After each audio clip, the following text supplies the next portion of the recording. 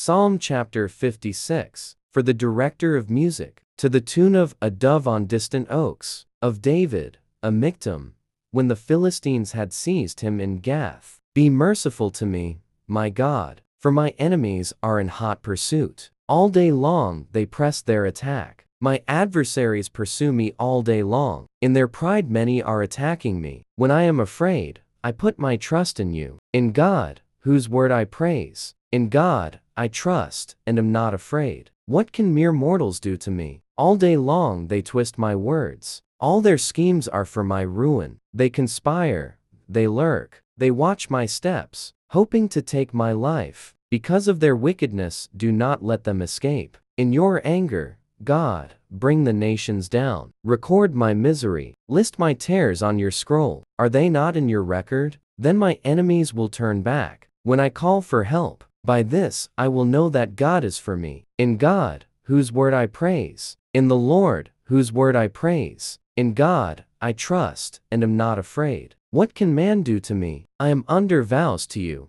my God. I will present my thank offerings to you, for you have delivered me from death, and my feet from stumbling, that I may walk before God, in the light of life.